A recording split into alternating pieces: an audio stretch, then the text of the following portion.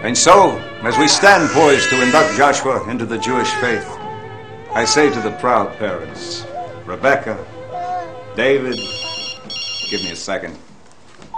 Cohen! Rebbe!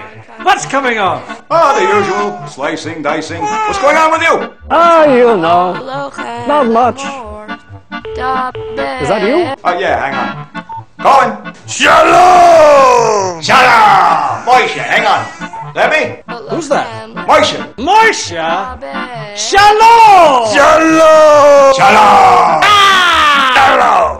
Moishe, did you send the fish? I said Mordecai. Mordecai! Get off your hellish to come and carry this yourself. Hi, Carlo. Hold on one second. Right, fish. Ah!